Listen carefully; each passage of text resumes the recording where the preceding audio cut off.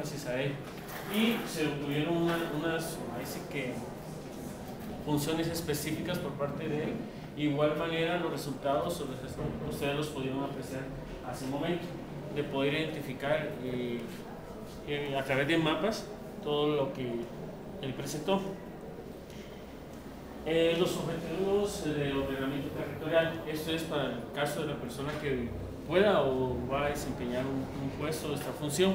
Es un puesto técnico y administrativo encarga de manejar de forma digital la información generada en las diferentes dependencias de la municipalidad que permita hacer un ordenamiento territorial del municipio.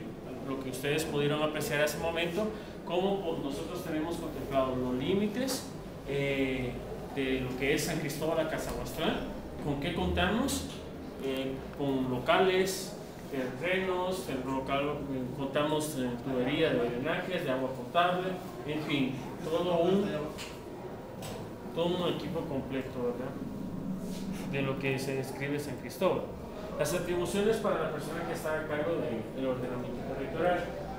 Recibir y llevar con todas las solicitudes de información solicitadas por las diferentes eh, dependencias de la municipalidad con relación al ordenamiento territorial.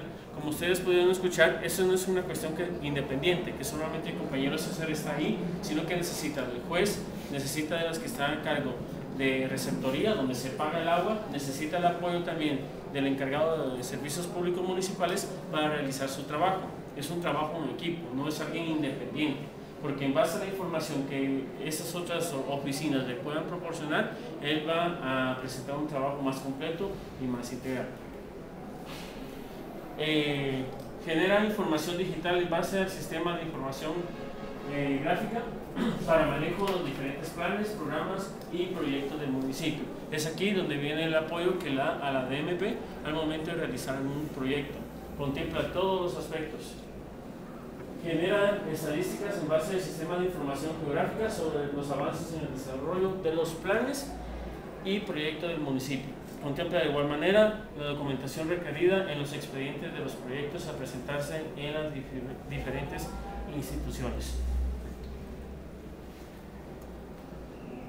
Y por último, lo que hace uso su herramienta principal es el ARC.